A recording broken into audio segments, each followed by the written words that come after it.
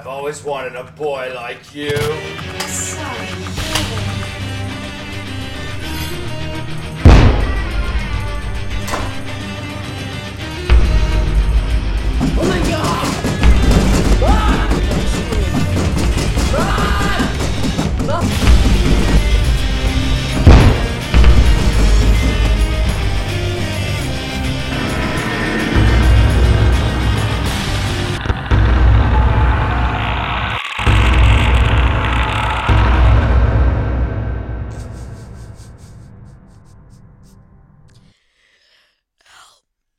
Shh.